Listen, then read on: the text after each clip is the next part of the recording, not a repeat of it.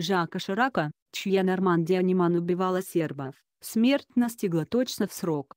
Политика. Международное положение 1 ноября 1355 Жака Ширака, чья Нормандия Ниман убивала сербов. Смерть настигла точно в срок сербский суд дал ему 20 лет тюрьмы за бомбардировки Белграда, и этот приговор оказался пророческим. Виталий Карюков комментариев просмотров 7402. Фото. Зюма. Das. Сразу оговоримся, что у бывшего президента Франции Жака Рене Ширака было несколько прозвищ. Одно из них, бульдозер, дал ему за агрессивность и эффективные действия его соратник и шеф Жорж Помпиду, в президентской кампании которого он принимал активнейшее участие. Именно во многом благодаря результативной работе Ширака Помпиду, в результате, и стал премьер-министром, а затем и президентом Пятой Республики. А вот французские журналисты иначе как политическим животным Жака Ширака не называли. Начало конца всей этой истории, по мнению некоторых компетентных людей, положили бомбардировки в 1999 году Союзной Республики Югославия авиации стран НАТО без одобрения Совета Безопасности ООН. Это была неприкрытая агрессия в отношении суверенного государства. Сегодня, говоря о Шираке, любят вспоминать о том, что при нем Франция вернулась к политике галлизма, то есть следованию заветам генерала Шарля де Голля, определенным образом дистанцировавшись от США.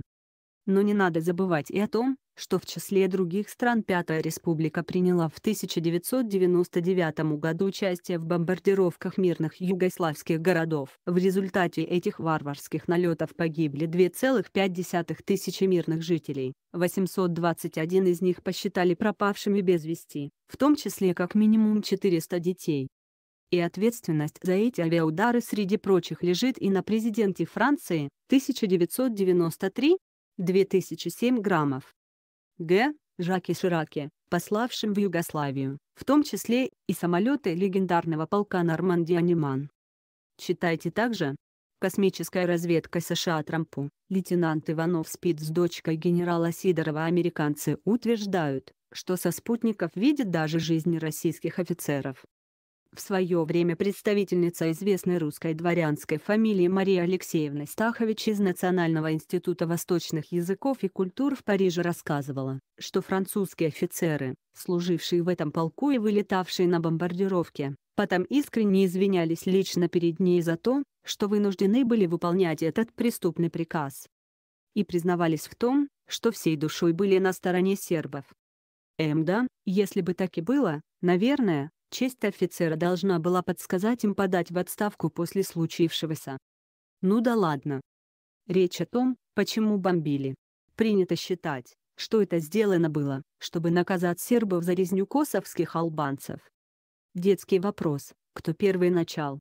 И как быть с противно с теми же албанцами, которые разоряли православные храмы и убивали сербское население тысячами? Где тут истина? Однако виновными назвали только сербов. Почему? Да потому что, во-первых, Западу никогда не нужно было сильное славянское государство в центре Европы. А во-вторых, политика, как выразился в свое время Карл фон Клаузевиц, это концентрированное выражение экономики. А экономика Албании в то время была построена на махровом бандитизме.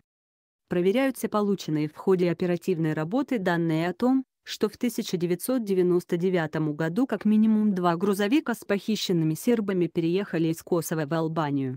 Иван Папанин станет камикадзе, если постарается потопить Рональда Регана сможет ли российский ледокол противостоять авианосцам США.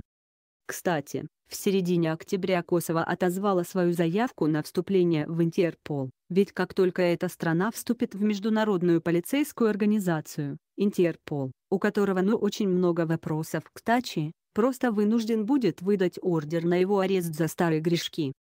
И непосредственно Жаки Шираки.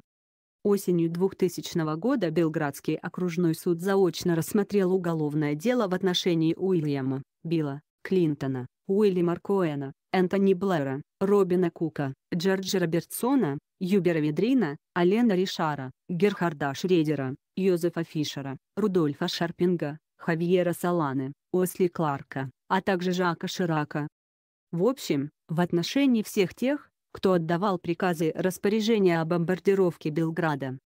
Суд признал их виновными в совершении преступлений против СРЮ, определив меру наказания в виде тюремного заключения сроком на 20 лет, с момента совершения преступления, то есть с 1999 года. О чем это говорит? 20 лет приговора. Или 20 лет отсрочки на тот случай, если реального наказания так и не поступит.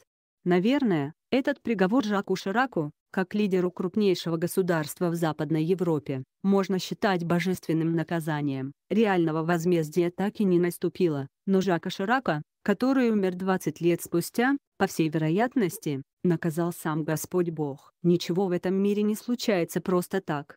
Ведь сказано в Святом Писании, «Ни один волос с вашей головы не упадет на землю без воли Отца вашего». Значит, была такая воля, Наступил час расплаты равно через 20 лет.